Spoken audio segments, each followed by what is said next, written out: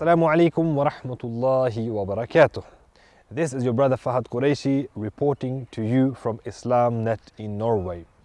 As you just saw in this video, this person cross dressing as a woman wearing the niqab. This is the same person that you saw earlier burning the Quran, traveling from city to city in the country of Norway and confronting the masajid and burning the Quran in front of their masjid premises. He is the same person who came to our masjid property, our masjid premise on last Jumu'ah and he burnt the Quran. This person is trying to intimidate Muslims. He's trying to portray our religion as a backwards religion. So why did he dress up here like a Muslim woman in niqab? Because he wants to show the society, he wants them to think that Islam subjugates women, that Islam is a oppressive religion towards our sisters.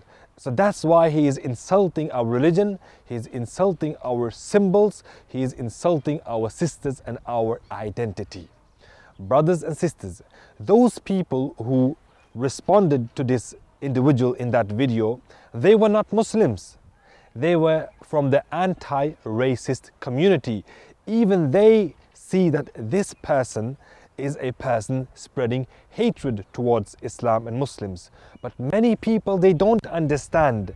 Normal people, average people, when they see these kinds of actions, they might actually think that Islam subjugates women. So how should we respond and defend our religion in this case? Brothers and sisters, the answer is to give da'wah. We need to strengthen the Islamic institutions that give da'wah. We need to strengthen the da'wah in our community. And that's exactly why we are establishing our masjid and da'wah center, which will, insha'Allah ta'ala, be the biggest da'wah center in the whole country of Norway. So he comes and thinks that he can insult the religion of Islam. He thinks that he can ban the Quran and we Muslims will, will just stand by the sideline and not respond. He is wrong. He is very wrong. Our response will be dignified. Our response will be with honor. And we will respond by elaborating the message of Islam to the wider society. So, brothers and sisters, when he spreads his hatred towards our religion, we will tell the people that our religion is free from what he is saying. Our religion is a pure religion, and the message of Islam is pure, and it is truly the best religion for mankind. So, brothers and sisters, support us in establishing this masjid, donate for the sake of Allah and help us build this masjid and da'wah center. Alhamdulillah, we already have the masjid premise, the property is there, but we need to refurbish this property to make it a proper masjid and da'wah center, and that's where your support comes in. When you donate to this project, you are venerating the religion of Islam. You are venerating the symbols of Islam. You are giving honor to our deen and dignity to our religion.